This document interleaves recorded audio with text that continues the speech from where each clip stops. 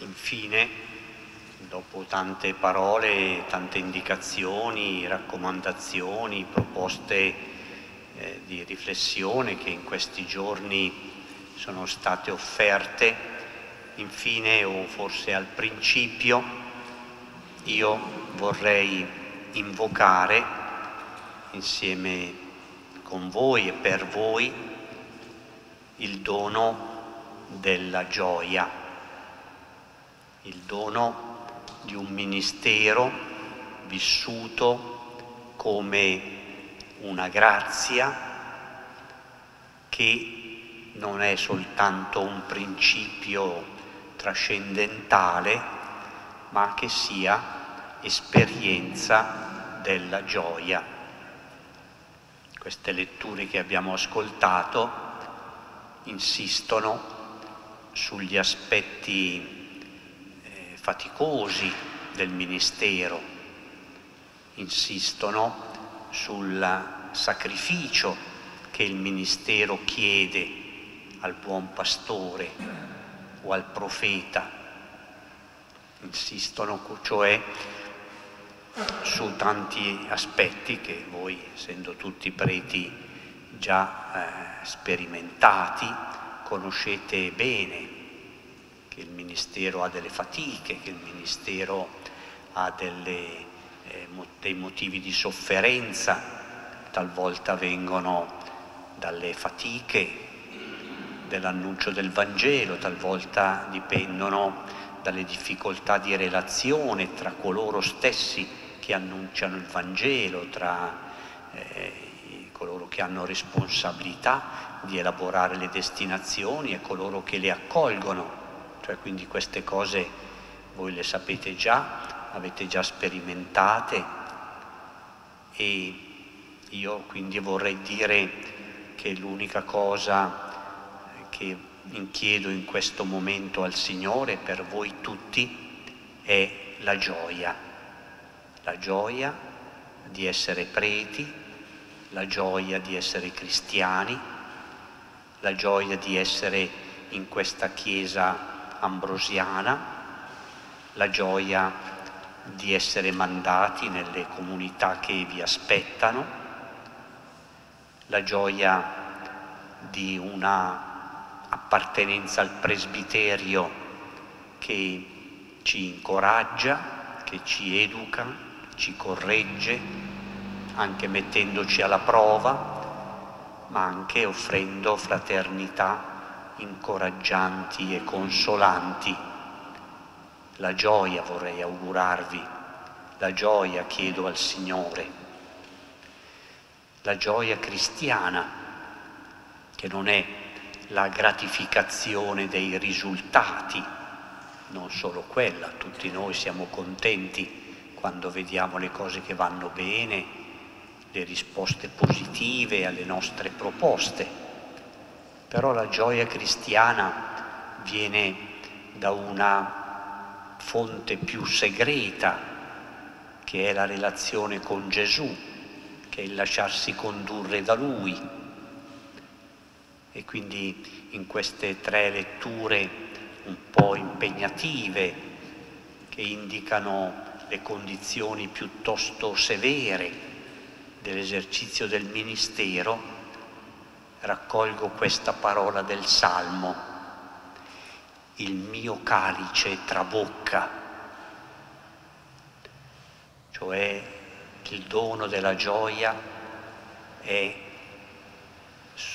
esuberante.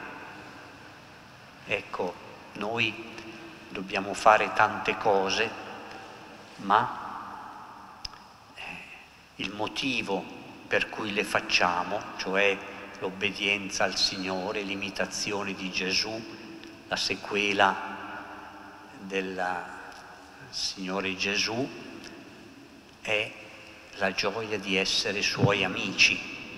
Vi ho detto queste cose perché la mia gioia sia in voi. Ecco, chiedo la gioia per voi, come evidentemente io so alcuni trasferimenti sono motivo di tristezza alcuni distacchi sono faticosi, alcune comunità di approdo non sono forse così affascinanti come uno se l'aspetterebbe, sono le condizioni nostre della vita, ma la gioia nostra viene dal fatto che Gesù riempie la nostra vita come le anfore di Cana, il mio calice trabocca, è dunque un motivo di fede, sempre solo la fede è quello che ci garantisce la gioia in ogni situazione. Ecco, questo chiedo per voi, questo luogo dove un uomo di fede, essendo con la testa fracassata dal colpo del sicario, Pietro da Verona, ha scritto, come si dice, con il suo sangue la sua professione di fede. Credo, credo che Gesù è il mio Signore.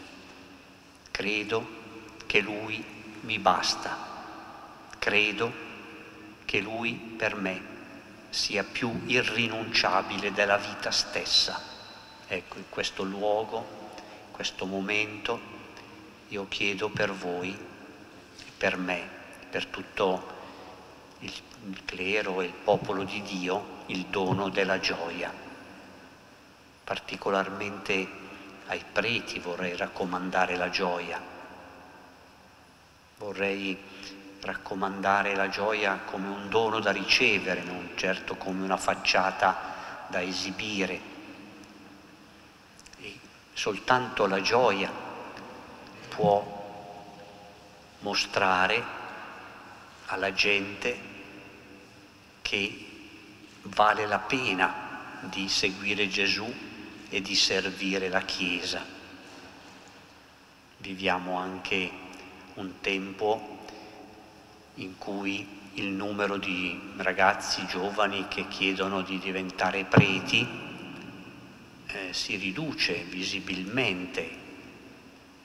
E noi non è che ci diamo tante colpe, prendiamo quello che il Signore manda, però spesso mi domando se il mio modo di essere prete, il nostro modo di essere preti, rivela con una certa evidenza constatabile che è bello fare il prete, che siamo contenti di essere preti. Mi immagino che un ragazzo, un giovane, se vede i suoi genitori eh, scontenti, litigiosi, amareggiati, se vede i suoi insegnanti eh, pessimisti, depressi, se vede i suoi preti preoccupati, eh, arrabbiati. E io dico, ma questa generazione giovanile che voglia può avere di diventare adulti, se gli adulti sono gente che sembra far passare la voglia di vivere. Questo si applica per tante cose, no? che gente, come, come si può aver voglia di sposarsi se quelli sposati sono sempre eh, così complicati, difficili, litigiosi, malcontenti? Che voglia si può avere di diventare preti se i preti sono eh, tristi, scoraggiati, arrabbiati, eccetera. Ecco, la gioia non è un artificio per attrarre eh, qualcuno con l'arma della seduzione. La gioia è frutto dello spirito, ma credo che noi possiamo chiederla e riceverla. E questa la dunque la parola che voglio consegnarvi. Siate lieti, lieti perché chiamati da Gesù, perché amici di Gesù, perché destinatari delle parole di Gesù.